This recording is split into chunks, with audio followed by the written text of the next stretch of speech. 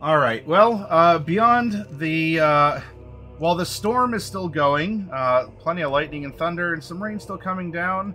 Uh, boy, that flash flood warning was true. A little bit truer than uh, what I had hoped, but uh, uh, we will continue. Uh, the last part of our workshop, I wanted to go over the clans. Now, there are more than what is presented in the base book. Uh, but so too with any other RPG, you'll find that uh, there's a good amount of content in the core book, and there are uh, specialties or other considerations in supplemental books.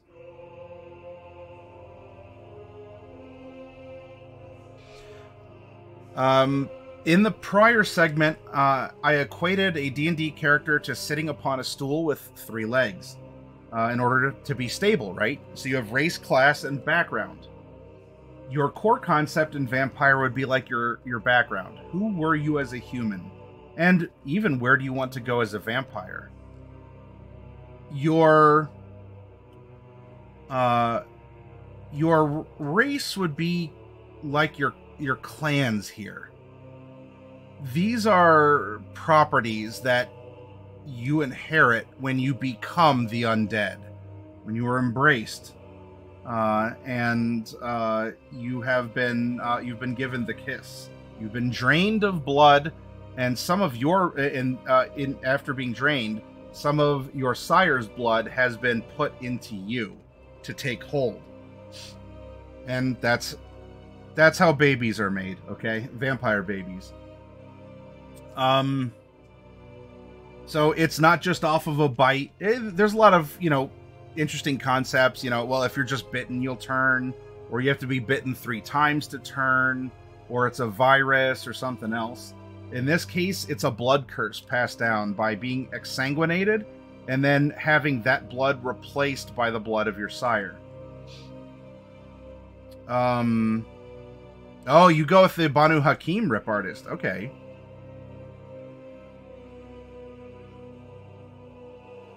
Um, so in, in this case, you you can come to adopt a particular culture or uh, traits for being reborn into a clan.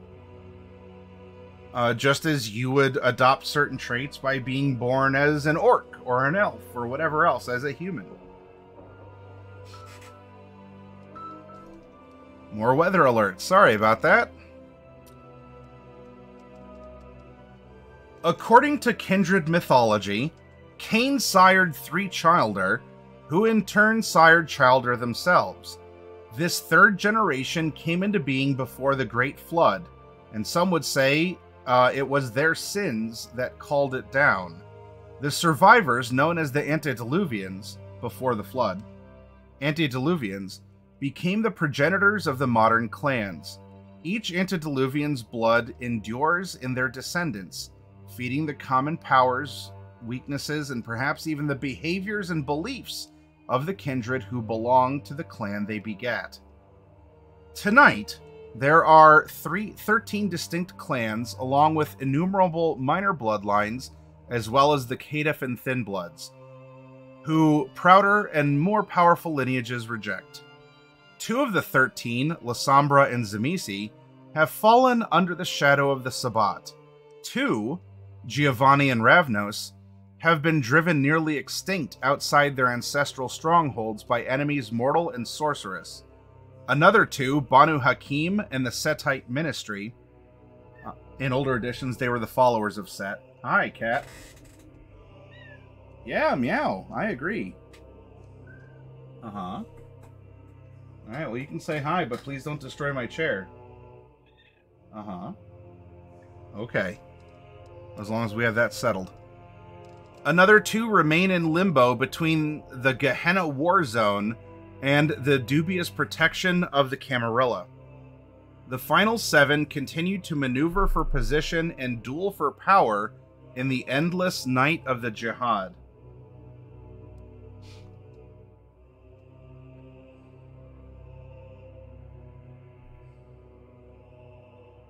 So we begin our exploration. Who are these clans?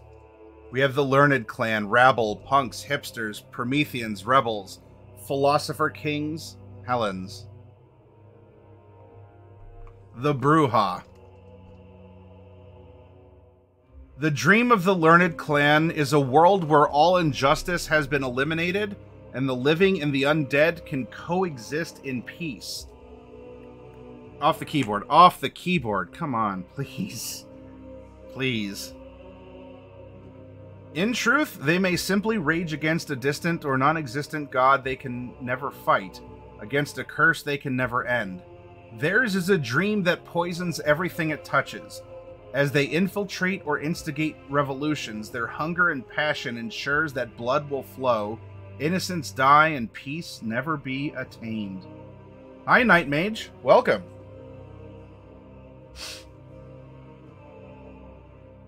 Uh, Galgrin, hello. Welcome uh, to the Hero Zone as well.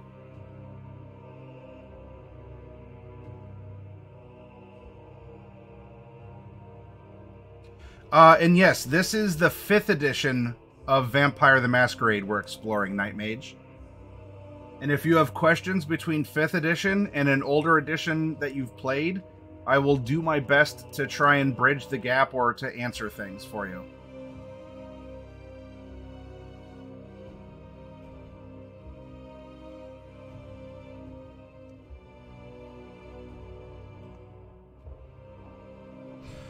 Uh, now, you can read this in your own copy of the book.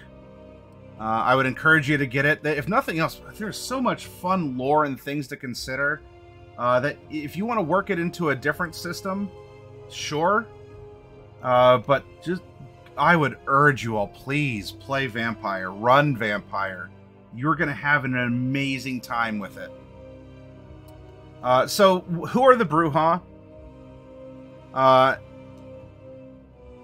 again, not word for word, but um, um, uh, Brujah archetypes. Cancer in the system. This kindred existed as a cog in a corrupt system.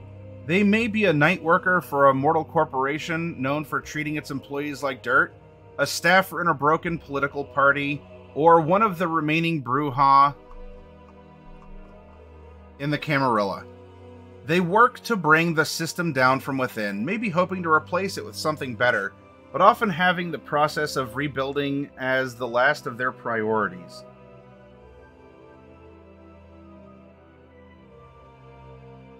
There are different types that you can play. Now, do you always have to be an anarchist or uh, as a rabble rouser? No, uh, not at all. Uh, if you, especially if you do not wish uh, to be a uh, well, yeah. So Brujah is uh, witch.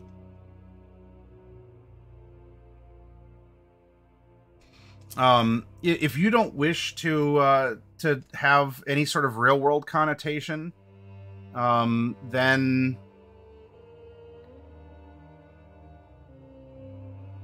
oh, what uh, what's going on, Night Mage? Is there something that I need to adjust on my end?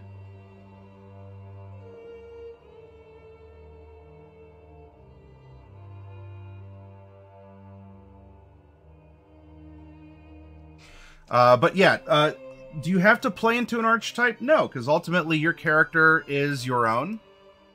Um, if you just want a, a a big thuggish bruiser, there you go. You don't even have to be a rabble rouser. Uh, do you want the trolling punk? Uh, then maybe you are the trolling punk. Uh, if you want to be uh, some sort of a uh, as a, a, voice of the people, whoever the people are, sure. If you want to try and embrace who the uh, who the Brujah were, they were once a high clan. Uh, superior to most and respected by all. Some Brujah still believe their blood is stronger than that of other clans, and that they have the right to apply their doctrine on others.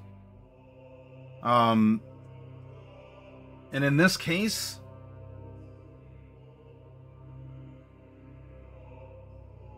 is the internet wonky? Oh, wait, is it on mine? Am I am I dropping uh, frames or something again?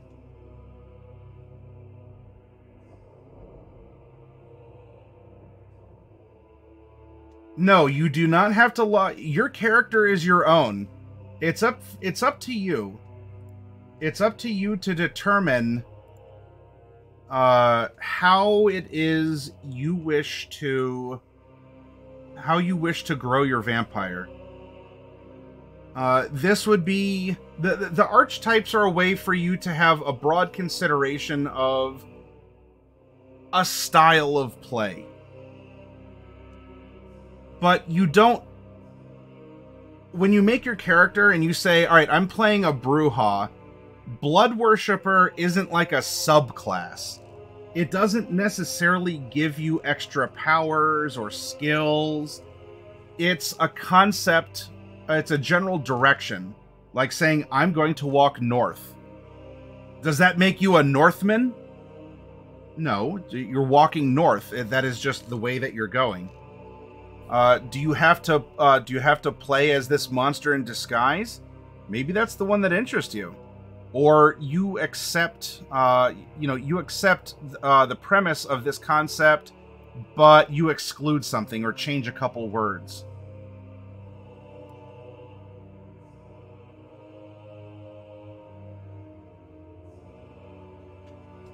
Yeah, they don't always need to be that way. The, and this is a nature versus nurture argument uh, to have to to have fun exploring. You in your life might have been very peaceable, calm. You meditated every day, and when you were embraced into clan uh, into uh, clan Brujah, that struggle for peace within yourself, let alone some broader societal notion of wherever you live. And you leave all the real world stuff out of it. That might become what is defining you. Because that is a part of the curse that empowers you, but it is this part of you now.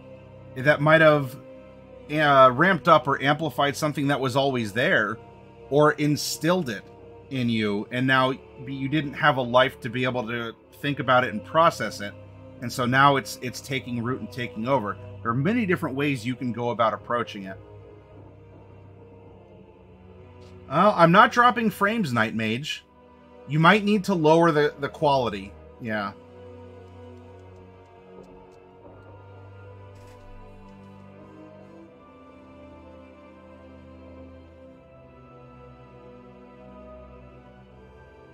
And in this case, for the monster in disguise, if this says uh, the Brujah claim there is no clan closer bonded to humanity than their own, which is why they exhibit such fiery passions. Uh, vampires and feeling feelings don't always match up.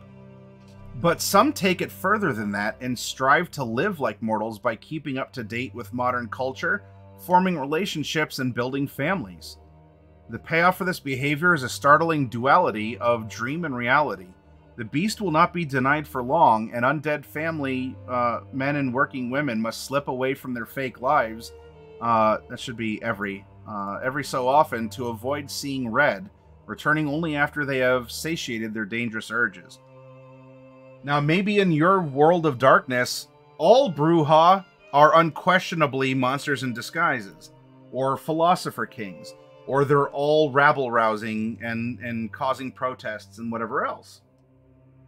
Or you just allow for whatever. But these these are ways to approach an idea for the Brujah that play into what makes them as such. Uh, while there are histories of the clans, while there are traditions among the separate clans, uh, how they came about, there's also some core aspects of their blood that is manifested directly in their disciplines. So, congratulations, you're a Brujah. What do you get? Well, you have access to celerity. Brujah use celerity to strike fast and escape uprisings they have started. They hunt with it to snatch vessels from the streets, feeding from them savagely, or to rapidly dispose of a mortal foe before vanishing into the night. Can you use it in other ways? Absolutely. but this is a uh, a loaded description of how you might find many Brujah using celerity. Potence. Brujah use potence as a devastating weapon, cutting short any confrontation with destructive finality. Though the clan preaches a connection to humanity, its members often take what they want by force, as it is simpler to hold a kine in place or crack their skull open and drink its insides than to negotiate for a mouthful of blood. And presence. Brujah use presence to win the hearts of the crowd, turn a threatening mob against itself, or send a dangerous opponent fleeing into the night. Brujah intellectuals prefer feeding with presence to convince vessels to give up their blood voluntarily. Other clan members use presence to terrify their prey, as it apparently adds an exquisite bold taste and fuels the less subtle powers of their curse.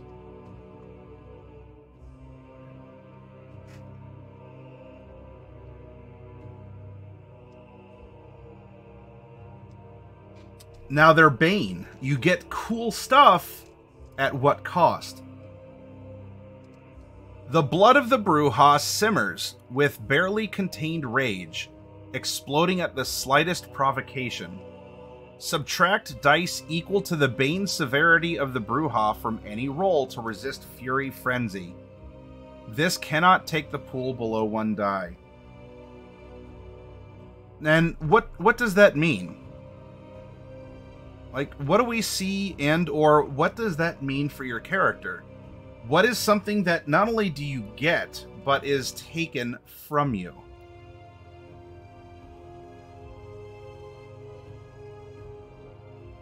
If you are needing to test to go into a fury frenzy, something has emotionally gotten you worked up, you are less likely to resist going into frenzy for your beast to start taking over and things happening that maybe you didn't intend to happen. You are strong, you are fast, and passionate. You have you have those emotions. In uh, D&D sense, this would be kind of like a charismatic barbarian. But in this case, it's easier for you to frenzy. And when you frenzy, masquerade breaches might happen, or you might uh, you might be do incredible things in a frenzy or terrible things, whether or not they violate the masquerade. Um, well, there's a fiery blood within you.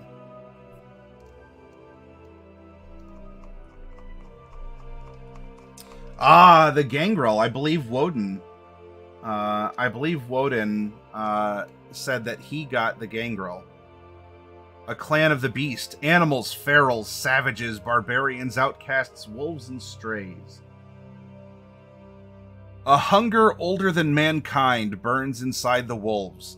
When other kindred curse their appetites and choose the gilded cage of the city and the leash of social hierarchy, the wolves accept the beast as part of themselves and run free crossing borders between species, nations, and domains with the ease of perfect predators. They belong to the wild, and the wild belongs to them. To think of them as noble savages is perilous, as the animals have little respect for the arrogance of civilization, and only the strongest survive their bloody hunts and savage initiations. Trading stories of war and the secret histories of their kind around campfires lit with the bones of their oppressors, they have turned their backs on the Camarilla and fight tooth and claw to escape the endless plots of their fellow kindred. Can you have a, a Camarilla affiliated gangrel? Absolutely. Are they all Anarch? No. Could you be a, a gangrel and work in the Sabbat? Yeah, why not? Talk to your storyteller for any of those, but uh, it it's written here that they are mostly you know, they're the free spirited. They travel. They're wild and free. Uh, but if you wish to have them affiliated with a, a particular sect, then go right ahead.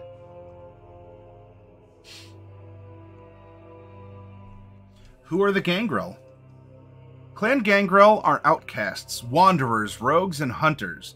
They make havens in the poorest parts of the city and feel no shame for doing so. They claim few domains as their own, but defer to no prince. If a feral enters a city, the prince will either accept it or have to fight the feral to get them to back down. Gangrel embrace from the ranks of survivors and fighters, leaders of prison crews and gangs, explorers, urban and otherwise, and any kind who sees the world as something to traverse instead of something to hide from. They care not for looks or title, but for accomplishment and reputation. A child may be a challenge, but the clan follows rituals and initiations to ensure the fledgling is worth the time. Success means a new honored member of the clan. Failure means simply a forgettable reject or a pile of ash. Hi, Hunter. Good to see you. Any mortal capable of projecting their will onto others, leading a group from disaster to success, or fighting impossible odds draws the clan's attention. This fact results in a symptom known as too many chiefs. When the clan consists of more leaders than followers, customs encourage fights for dominance, but these rarely last until final death, as Gangrel elders advocate against taking competition for authority personally, instead encouraging a culture of healthy rivalry. Uh, this would be like the clans in BattleTech. This might be like druids in a D&D world. Uh, while you are more akin to live uh, in the woods as a loner, uh, are you a natural creature? No, you're still a vampire. Would a werewolf still want to savage you as a vampire? Yeah. They might actually stop and think about it for two seconds. Maybe. But uh, you are still a vampire, but you are more of the wild type.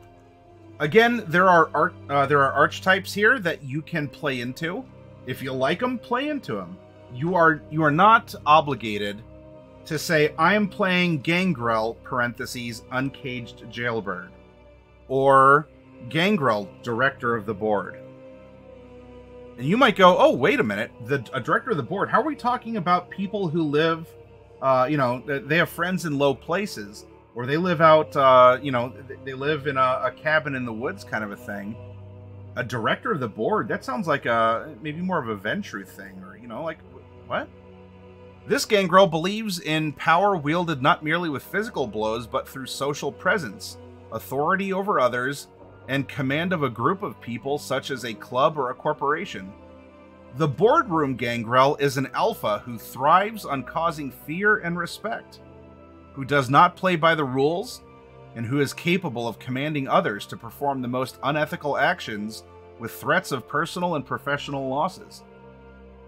They stalk their prey through the office corridors at night and in five star hotels paid by the company card. Okay, well, maybe that kind of juxtaposition you really like. I I would love being this wild gangrel, but also the the director of a, a company, right? Pardon. the gangrel relish their animal features and feral natures, and many behave as wild beasts do, leading unlives dominated by immediate physical drives and desires. The unrepentant beast behaved like an animal already before the embrace. Perhaps they were a predatory criminal or an individual who used legal means to let out their dangerous desires. As a vampire, they are little better.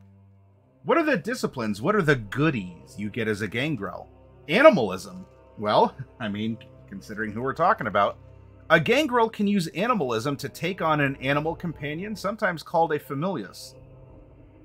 The animal companion can be used for hunting, spying, and attacking. Some gangrel will turn pets on their owners, hound vagrants with packs of dogs, or lure strays to them for a, a quick feeding. You know that. Come here, boy. Come here. Yay, yay, yay. But you need the blood. Fortitude. As longtime bodyguards and soldiers for the other clans, the gangrel have benefited hugely from fortitude.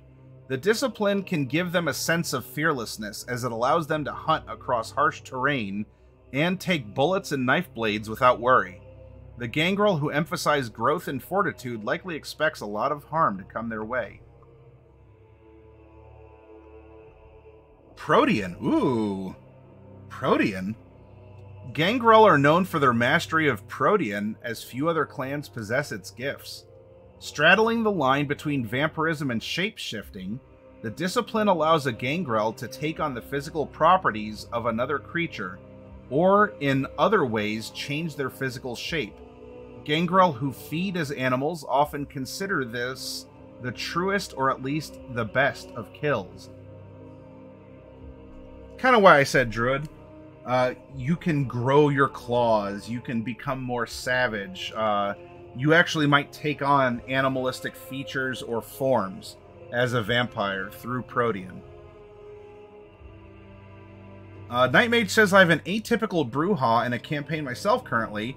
While she still is quite good at punching things, she also has four charisma and has finance, academics, and corporate etiquette.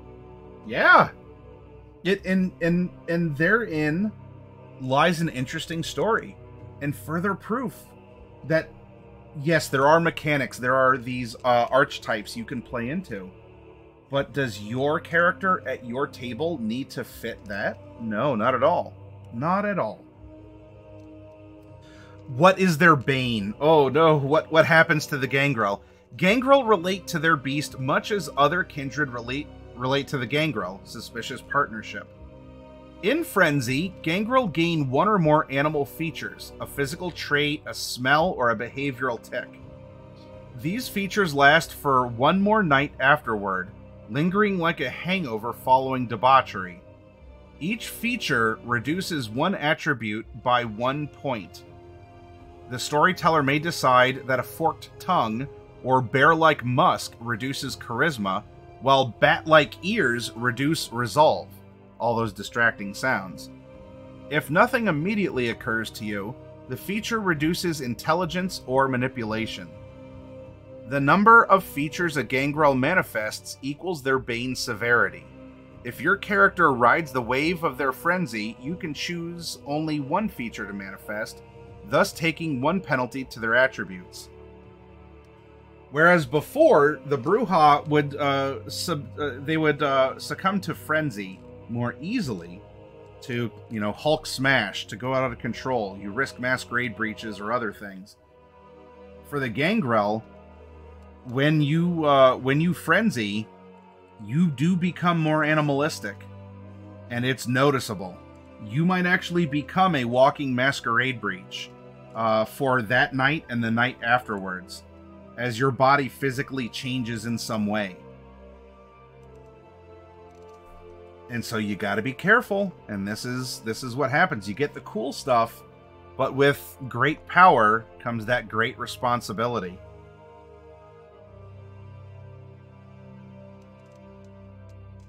Now who are the malkavian? By the way there is not a brujah nor a malkavian uh, in the red deemer. Uh, i'm sorry a brujah or a uh, uh, gangrel. We do have a malkavian played by ravenstar Clan of the Moon, the lunatics, madmen, jesters, oracles, dervishes, visionaries, the children of Malkav. Psychologists would diagnose the children of Malkav with schizophrenia, depression, obsessive compulsive disorder, or post traumatic stress disorder, sometimes all at once. In reality, they have all these things and none. Like the wise madmen of poetry, uh, their derangement stems from seeing too much of the world at once, from understanding too deeply, and feeling emotions that are too strong to bear. They self medicate with blood, but that is just a temporary solution. Who are the Malkavians? It has long been the misconception that few kindred families are as disparate as the Clan of the Moon. Other clans see them and reason quote, they are each mad, so why should their respective origins matter, unquote. To the Malkavians, origins matter a great deal. Though sires may pick childer from all walks of life, age groups, ethnicities, and genders, every mortal selected for the embrace possesses something only visible to a Malkavian. One of the gifts the Malkavians look for in mortals is what they call second sight. If a person interprets dreams, can perceive spirits, or unerringly predicts future events, the Malkavians take notice. Such a person acts as a beacon, calling out to every member of the clan that sees them. Another gift revered by the Malkavians is that of insight, a high level of empathy, finely tuned knowledge of complex subject matter or just an obsessive drive to pursue the answers to philosophical questions each appeal to the clan. As insight is often tied to profession, the clan benefits from a range of academics and doctors, especially therapists and psychologists. Finally, the Clan of the Moon are fascinated by the broken, individuals uh, who have been changed by traumatic experiences or who were simply born slightly detached from themselves and the rest of society. To the Malkavians, they are but one gentle push away from having access to an altogether different plane of reality. Rather than treating them as burdens, the clan sees them as having great potential. All Malkavians suffer mental illness following the embrace, sometimes accentuating an existing condition, other times adding a new dimension to their instability. As if their thoughts and actions were based on otherworldly logic, there seems to be no knowing when their condition will manifest destructively or when it will offer important perspectives where uh, such were previously lacking. As a rule, no other kindred feels completely comfortable around a known Malkavian, often viewing them as unpredictable maniacs whose flashes of insight are rarely worth the fits of insanity. Some Malkavians claim there is a common factor to their madness, that they're all psychically linked through a communal wavelength, a shared consciousness of sorts. Those who are aware of its existence refer to it as the Cobweb, or, more recently, the Madness Network. Malkavian is my favorite clan, says Night Mage, followed by the Setites, though I believe. Uh, no, they still exist. Uh, they're not called uh, the followers of Set. Uh, they're called the Ministry, or the Setite Ministry.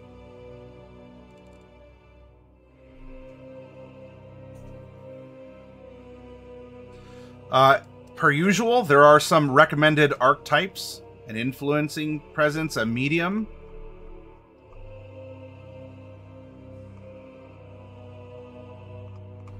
A bad analyst a fanatic. So in this case, you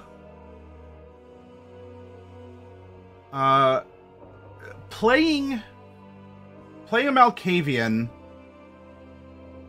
does offer a lot of interesting concepts, right? If you can see the beyond, if you're the, the type of person, oh, you're the you're the the tinfoil hat conspiracy theorist, or you're just the one who can see beyond the veil. Uh, of the clans, and while there, of course, there are certainly ways that you could play up that in a real world setting, uh, would be in a broad real world setting outside of you know whatever friends or family you play with, like at your table.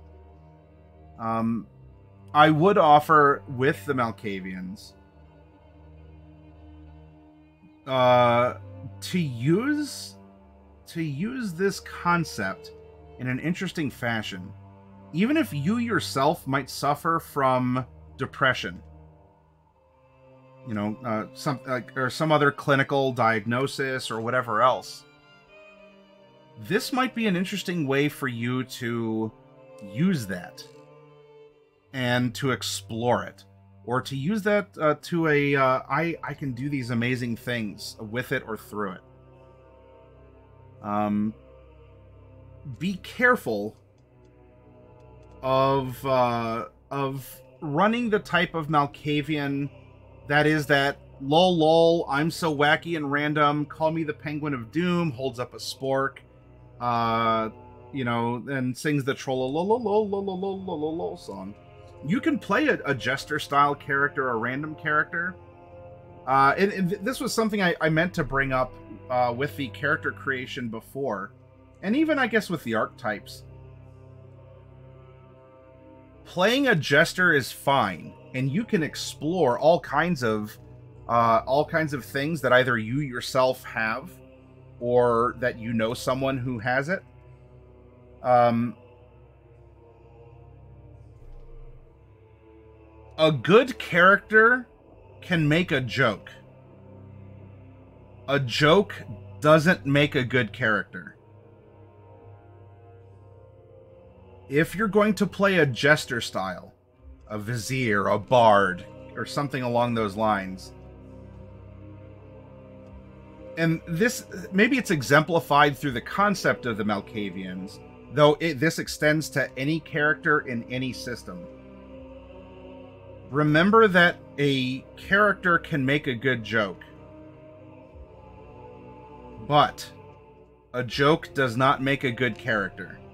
It becomes something that is disposable, a throwaway item after the punchline is delivered.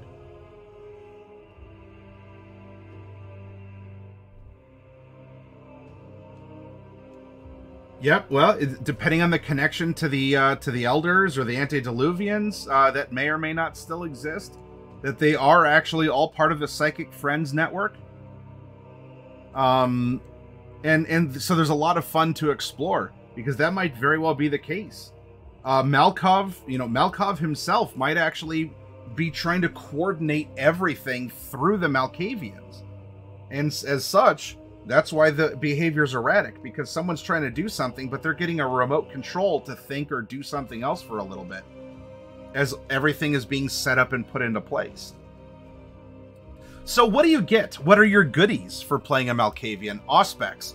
Malkavians use Auspex to enhance their senses, strengthening their sight or hearing to a supernatural level, or to determine a mortal's fears, illusions, and mental weaknesses so they can play on them uh, horribly as they prepare to feed. Many a Malkavian has persuaded a vessel to tell them about it, before draining their weeping victim not 10 minutes later. Dominate. Some Malkavians use Dominate to lift all distractions from a victim's mind, completely enthralling them.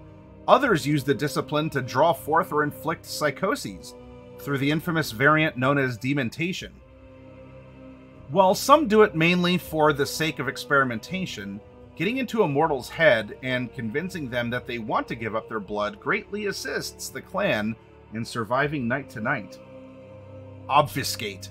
The Malkavians do not advertise their use of obfuscate, conveniently allowing many kindred to forget they even have access to this discipline. What they use it for differs vastly. While some Malkavians might want to observe the court from secluded corners or play tricks on their prince, others secrete themselves in the houses, wards, and care homes of the kind, watching the sleeping faces before discreetly feeding. So you're good at hiding, and you're good at uh, you're you're good at sensing, even even things that uh, through sense the unseen.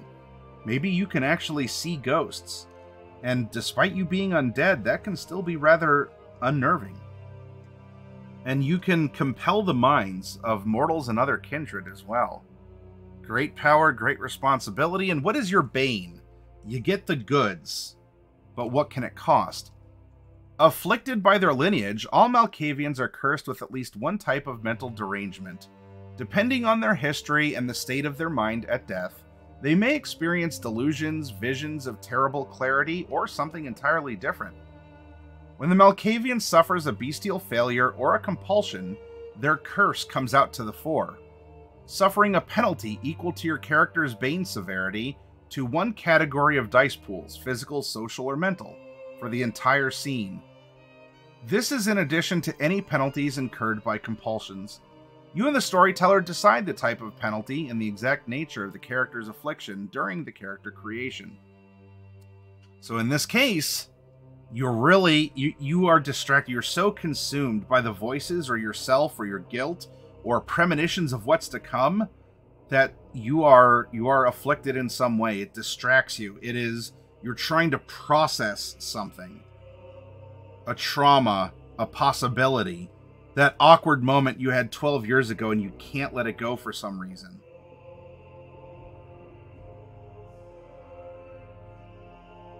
Yeah, uh, uh, Galgren. Uh, basically, yeah, I think of Deadpool as a Malkavian. Sure, he's a crackpot, but he still moves with purpose and direction.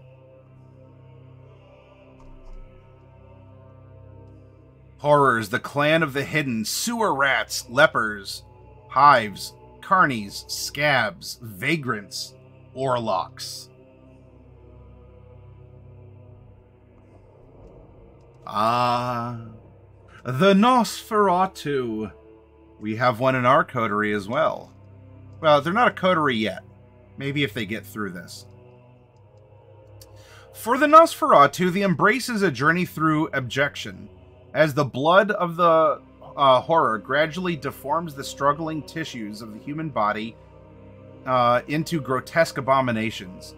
Weeks of pain result in deformities similar to terrible birth defects, cancer growths, crippling injuries, and leper like sores. Those who endure it find themselves as monstrous echoes of Murnau's silver screen vision. But perhaps pain and humiliation teaches compassion. The Nosferatu, as they jokingly call themselves, are the most humane of the kindred, wearing their curse on the outside rather than the inside. To blend in, some call on the blood to wear the borrowed faces of their victims or disappear from sight, while others rely on prosthetics and heavy makeup.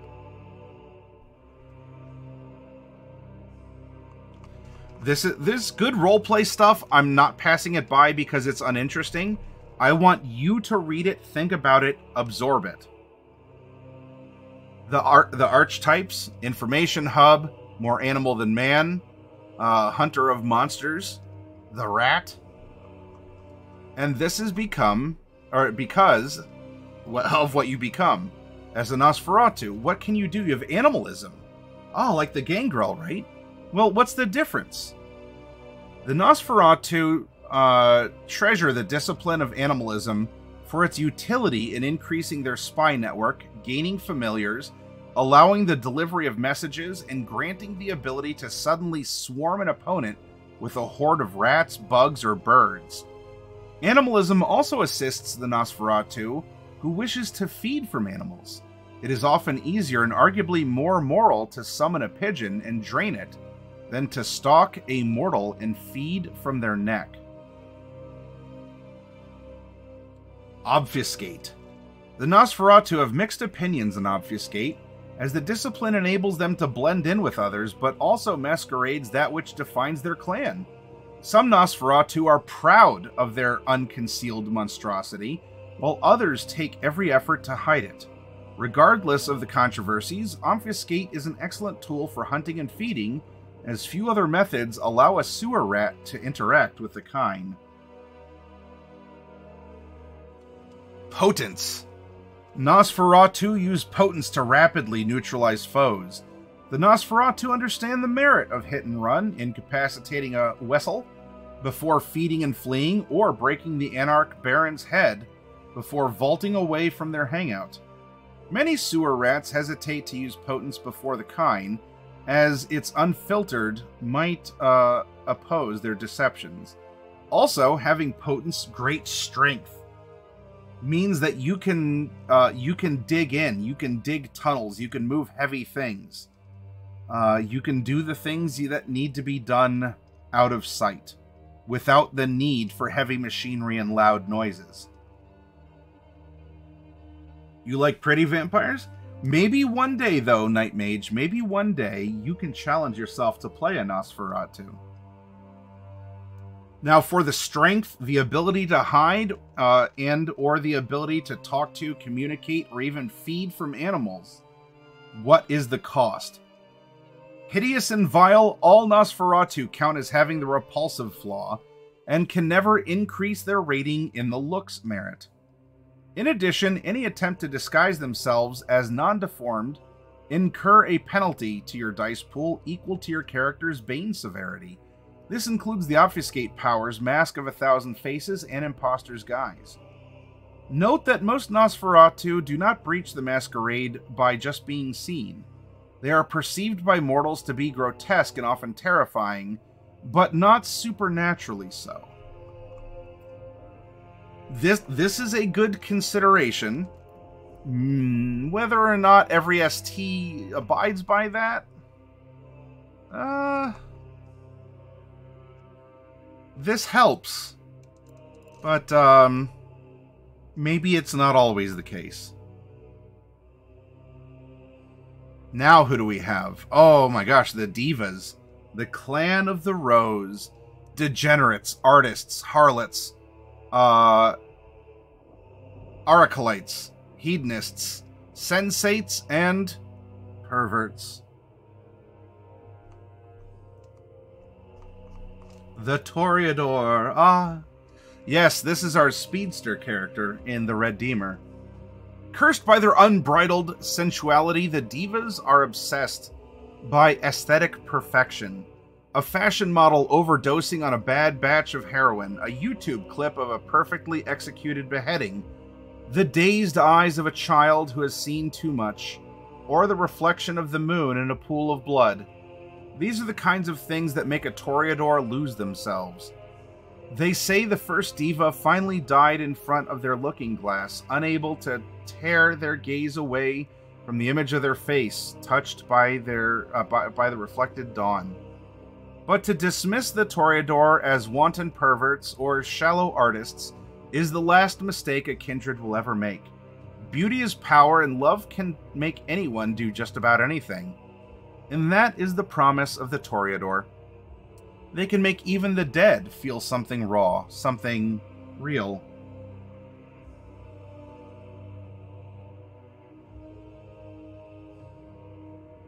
Karma says Nosferatu are an off one for me. I like them, but not for myself. Everyone has a favorite thematically, uh, because of uh, uh thematically, mechanically, or in the lore that's presented. It's just not your thing, and that's perfectly fine too.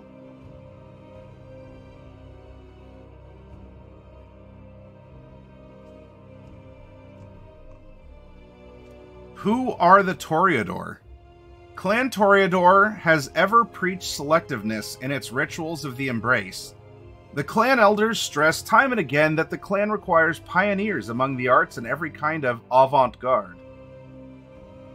The clan is at its strongest when comprised of the freshest thinkers and those who desire experimentation and aesthetic discovery, for this reason, many Toreador emerge from the ranks of accomplished artists, both new and faded. But not all artists need wield a brush. To the Toreador, art encompasses all forms of entertainment and stimulation. The clan courts the greatest actors, singers, writers, dancers, and even sex workers, if the degenerates believe such mortals will offer something new to their clan Despite the custom of embracing only the best, the Toreador fixation on beauty and innocence has caused many a diva to make a fledgling in haste. Many a moonlit night, new clan members have emerged as shallow hedonists, one hit wonders, or just a stunning body with nothing else to offer. The greatest mistakes are erased and forgotten. Still, the clan is diverse, its members considering the ensemble as a kaleidoscope of talent and beauty, the archetypes, the l'artiste, the stage manager, patron of the arts, the thespian spy.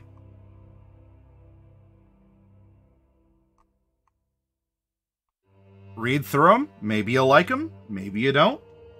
Uh, archetypes can help, but they do not define your character.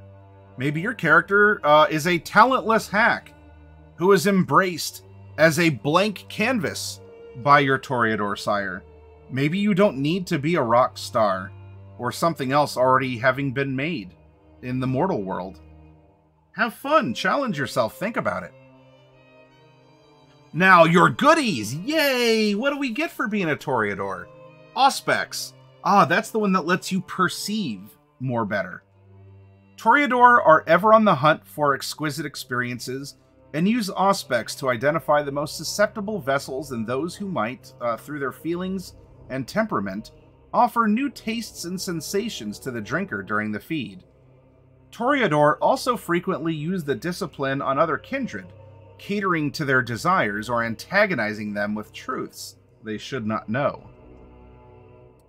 Celerity the Toreador claim they are not combatants, but few move as swiftly as the Degenerate, using celerity to cut an opponent to ribbons before they even have time to draw their weapon.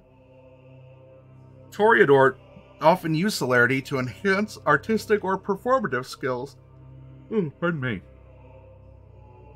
In feeding, they use the discipline to take what they need from a vessel and vanish before the mortal realizes the truth of what has occurred.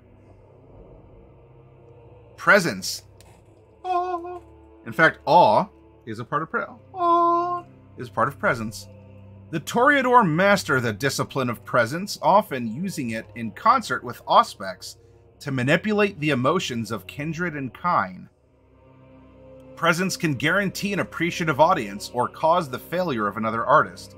Some Toreador will use the discipline to indulge in carnal pleasures with an unnaturally enthusiastic partner, or to lure a vessel into their arms and under their fangs.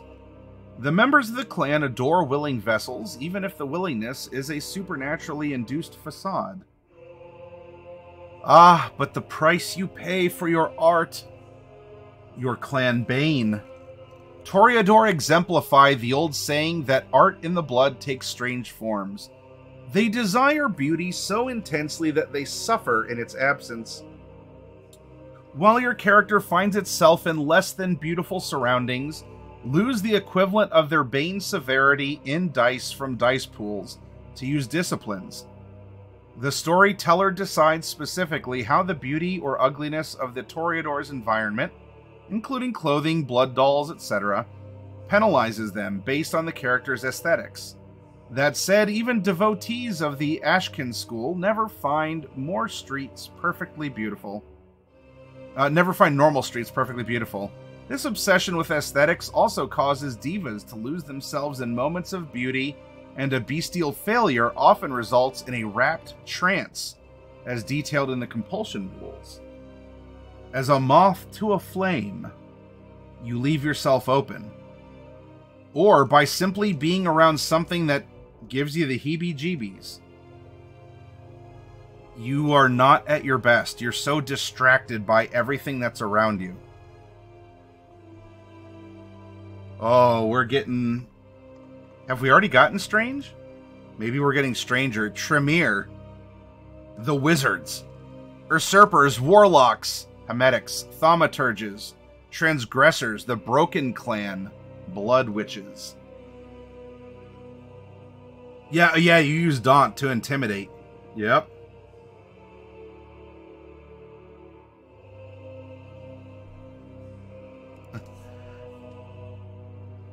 Well, Game Master's Vault, you might just be a Toreador. a Hermetic mage in 8th century Romania, Tremere was the leader of a cabal of magic users rightfully feared for their obsession with knowledge and power. Able to prolong his life unnaturally for centuries, his powers. He was a mage. Don't let the propaganda fool you. His powers eventually lessened and his grip on youth became shaky. Unable or unwilling to accept his own mortality, Tremere cast his eyes on the hallowed secret of immortality. In his greed, the mage, see, uh, instigated the most terrifying magical experiments ever conducted, damning himself and his followers to a hell of their own making. Thousands of mortals were murdered and hundreds of kindred vivisected and drained in ritual circles before Tremere and his cultists thought they had found the elixir of life. How surprised they were to have discovered the curse of Cain. Terrified, they died and woke again to an eternity of unlife and hunger, cut off from their craft. In a mockery of their former magical rituals, now only fresh blood allows the Tremere to cast their thaumaturgic spells to twist reality. After the Second Inquisition destroyed the Prime Chantry in Vienna in 2008, the Tremere fell from gray uh, eminences to personae non gratae in many regions. The arrogance of the pyramid had made the usurpers few friends, but the need for sorcery has not disappeared. If anything, it grows as the cursed blood shifts in the veins of the kindred. Without the pyramid ordering them into rank and value, the warlock finds themselves competing with their fellow kindred and increasingly with ooh with each other for anything that might allow them to regain some of their former power. A clan wide chase for artifacts and grimoires belonging to their ashen ancestors rival the social intrigues in ugliness and uh, in ugliness and the alliance with the Camarilla is an oft used weapon between the houses of Clan Tremere. Meanwhile, the term mercenary magus is becoming increasingly widespread, as warlocks who were formerly bound by the will of their masters find themselves free to serve for whatever price they choose. Tremere serve in three ways. The warlocks serve the other clans with occult expertise, they serve the Camarilla with blood sorcery, and they serve themselves with their missions to grasp power. Though more Tremere ascend to Praxis these nights than ever before, they still claim fewer thrones worldwide than Clan Nosferatu. In truth, most warlocks acknowledge that becoming the prince is only useful if it helps them expand their knowledge. Tremere see true power as knowing the ways of shaping the world, having access to the right blood and owning the rarest of ancient artifacts. As the Tremere ally with confused coteries seeking them out, hunt for well protected relics and artifacts, or closely analyze fragments of lore relating to the Cainite mythos, all the while mi- uh, miserly guarding their secrets from each other, they are all united in their thirst for knowledge.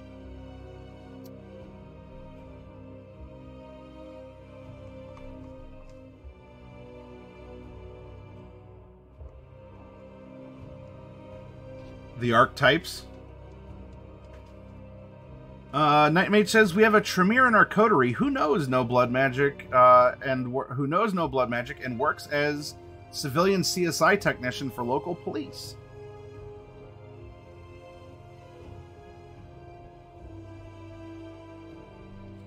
They too have auspex. Remember, that's uh, perceiving.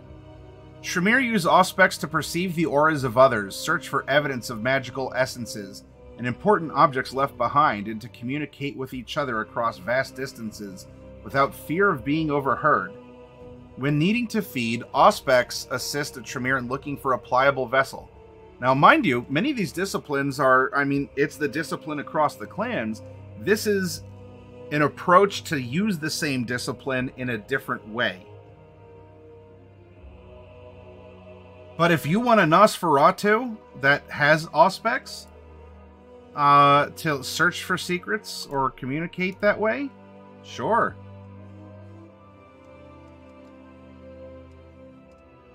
Or uh, another clan that has it or doesn't have it, because you can pick up some tricks along the way for reasons we'll, we can get into later. Blood sorcery. Ah, yes. So this is this is one that is unique to them. Master Thaumaturges, the Tremere's expertise in blood magic makes them a valued, if mistrusted, pillar of the Camarilla. Using blood sorcery, they can convey devastating attacks on an opponent's mind and body, defend themselves, and ease their feeding. Some warlocks use thaumaturgy to sap a mortal's blood from their veins without ever having to touch them. You are a you are a very overtly magical vampire. You are a wizard and dominate.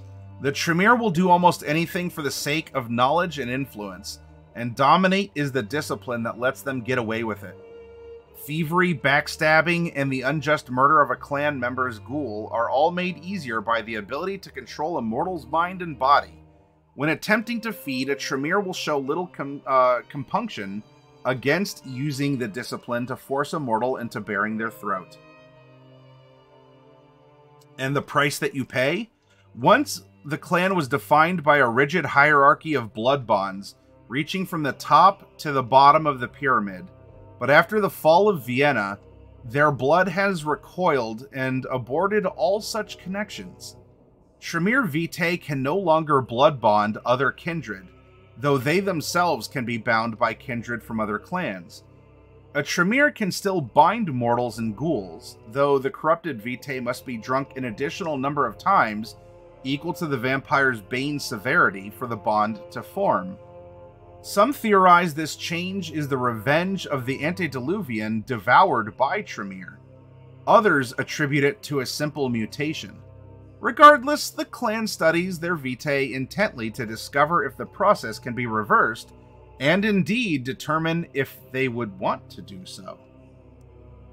Uh, so this is a mechanic of the game, uh, social and an actual mechanic in the game, uh, about uh, either blood bonding, uh, making servile other vampires, uh, or by creating. It can bind mortals and make ghouls. A ghoul is immortal, but you give them uh, your blood. They're still living, and you give them their blood, and uh, it empowers them, and it, it does bond them to you. Um, and uh, a ghoul is is nice because they can do things during the day, and um, you don't have to worry as much about them breaking the masquerade because you've already broken their mind, because they are completely servile to you.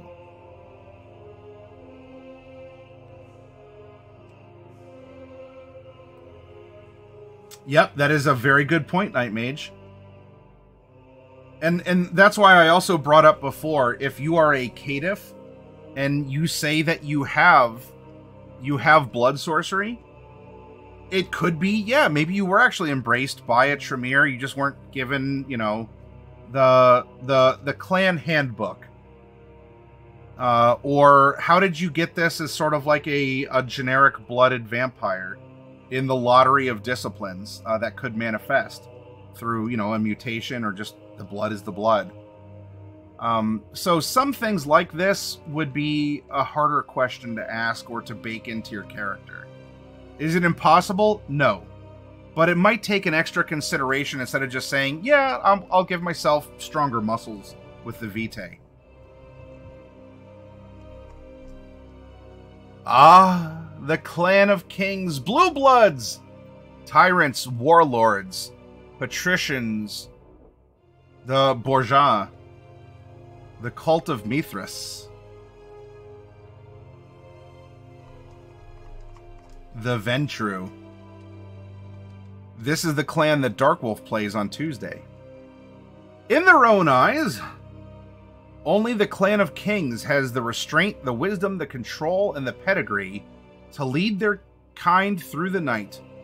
Throughout their time as god kings of ancient Babylon and lords and ladies of the Dark Ages, to their contemporary roles as guardians of royal blood, majority shareholders, and campaign fund backers, they have been obsessed with the impulse to rule. They collect their tithes in the form of precious blood, ensuring the growth of their legacy. While many other clans claim positions of influence in politics and business, no one can rival the Ventrue in the game of pure power and wealth. But lately, their arrogant projections as divinely chosen rulers, better fit to lead than any other clan, have begun to falter. Time is running out. As they feel their privileges slipping through their fingers, the Ventrue tighten their grip and fight fang and claw to remain in control as the masters of their kind. Clan Ventrue has long been the leaders of the Camarilla, holding more positions of power than any other clan, and they are loath to give that up. Even after losing their most prominent representative to a Brujah assassination, the Ventrue continue to maintain that they are destined to rule all kindred, no matter the sacrifices involved. The Ventrue believe in the strength of tradition and lineage. The embrace is one of their most important rituals, and the choice of child affects the way other members of the clan treat the sire. Ventrue therefore aim to embrace overachievers, politically or financially powerful kind, or those with a talent that sets them apart from the masses. These nights, the Ventrue, are cautious, the talentless fall by the wayside while the best blend in with humanity as bankers, shadow directors, reclusive moguls, and chiefs of staff. No longer can a Ventrue openly lead a board or take a prominent position in a mortal community. They resent having to influence their surroundings from the shadows, but know that the risk of a fatal masquerade breach is too high to risk anything else. The Ventrue are establishment. They set and maintain the rules, punishing those who break them and occasionally rewarding those who follow. Their critics consider them tyrants or the jailers of other kindred. The uncomfortable truth is that without them, the masquerade and the Camarilla with it would have fallen long ago. The Ventrue are more loyal to their cause these nights than ever before, adversity only making them more determined to succeed and more certain that they have the right to do whatever it takes. This might be, uh, in a fantasy setting, the paladin. Lawful good does not mean lawful nice. Uh, your archetypes cold blooded corporate director, member of the order, uh, it, a conservative politician, uh, you will find that real world politics written in this book does take a particular slant. Um, adopted or not, snicker or not, but it is what it is, written by those who wrote it. Uh, Godfather or a High Priest.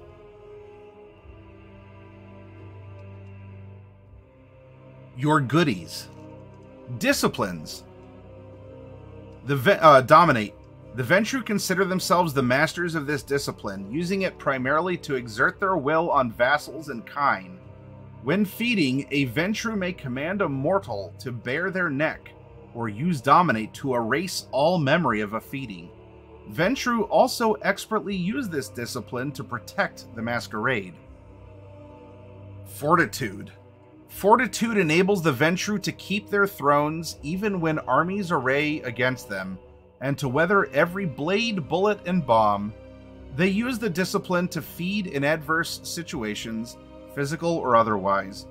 Where other kindred might run short on vitae, the Ventrue resist the environment and take their fill.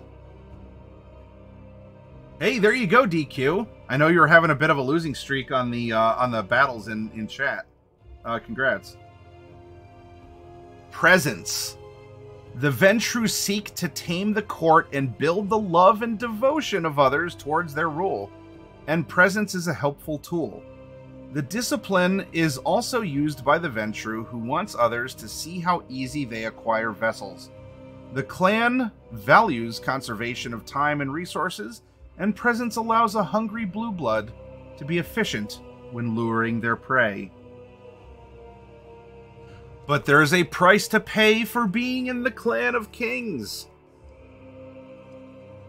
And what is that price? The Ventrue are in possession of rarefied palates.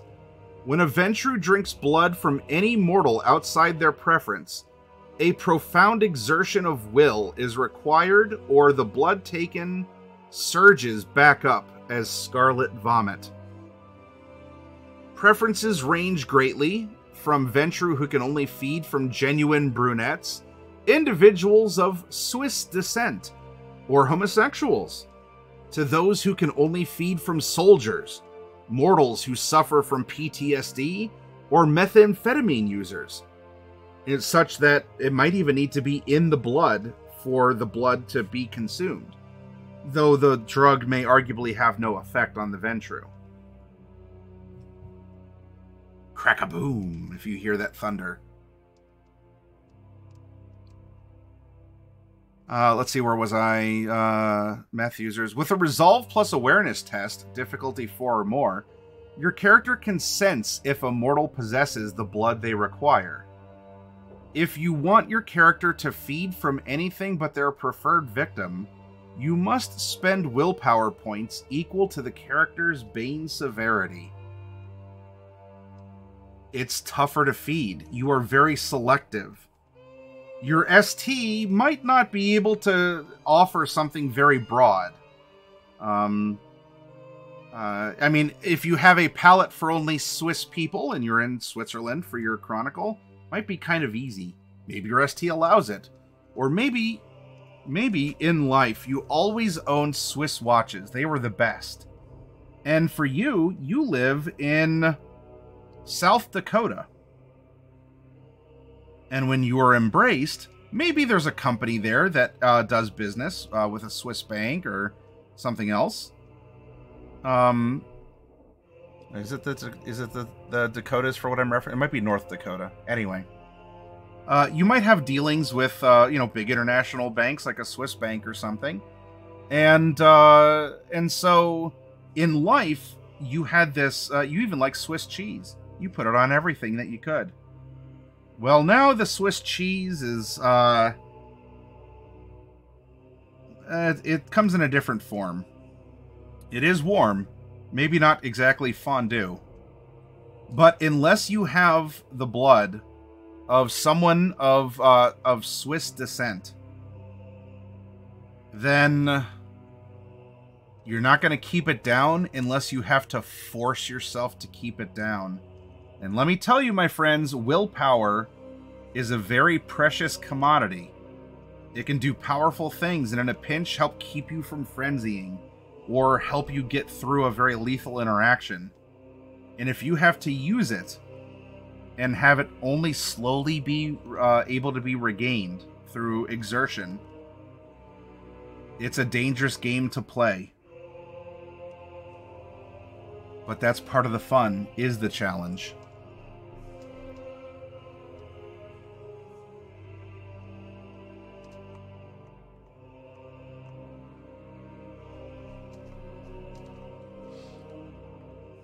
Now, there are the Caitiff and the Thin Bloods. Uh, it is not that they are unplayable. Uh, it is not that they are broken in any particular way. Um, they are concepts to play that maybe your maybe your ST might not allow, maybe will. The Caitiff characters have access to three disciplines of your choice following the embrace. Um, and they have their own set of rules.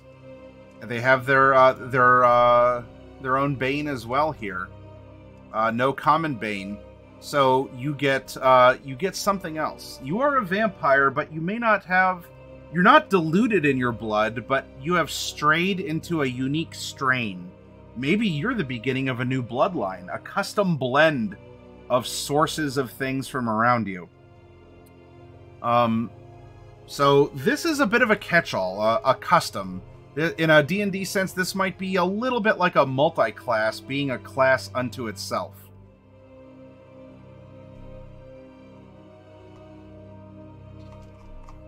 And the thin-blooded as well.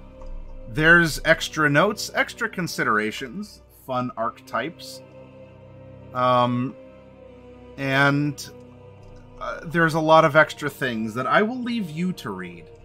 Because if you can understand the basic core of the of the like the fixed clans, you will have no problem with the Caitiff and the Thin Bloods. And I want to encourage you to get this book and to read it, to find the power within the Caitiff and within the Thin Bloods, and not just have me offer witty commentary on it. I know, right? Oh, the guy who sells these books is the one encouraging me to buy it. I sincerely hope that you do because there's a lot to enjoy and a lot to discover in this game and through it, and to customize your own world. Sure, you might play in Cleveland, like my Cleveland game. It could be a completely different Cleveland because you restrict the clans that play, or you might uh, you might have a different consideration of uh, all the Brujah are actually Camarilla, and all of the Ventrue are actually Anarchs. Why not? That's it's your fantasy world to layer on top of what exists in our real one. So I hope this this delve gave you some great character ideas. It it spurred you on saying, you know what? The fact that there's even that there's an archetype, not just you know me talking about that that corporate gangrel you know, that, that feral, that alpha in the boardroom. I like that. And they do they do get presence. Even animalism to keep track of the the uh you know, the employees. You do have a you have a mole. you have a mole among them who can report back. Or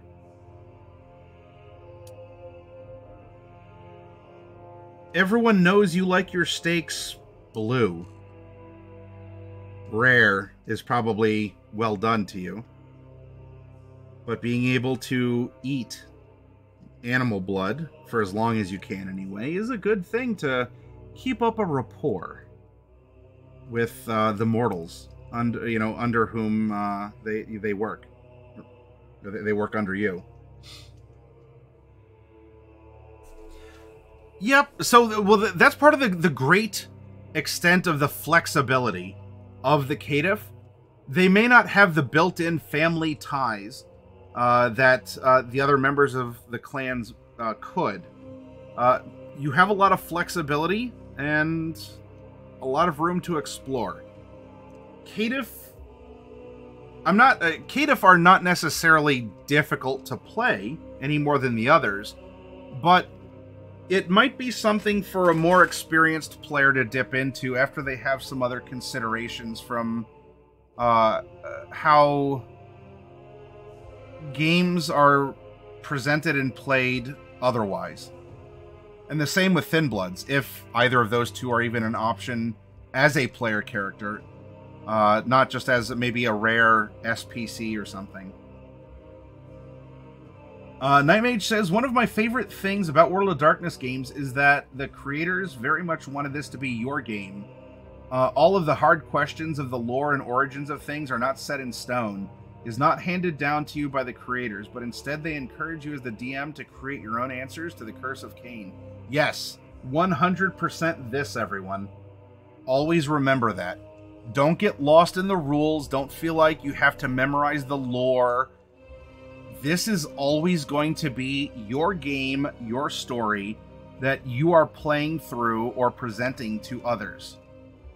That you can you can delve into the personal and political horror that exists as a mockery or a parody of our world or something completely fantastic and different.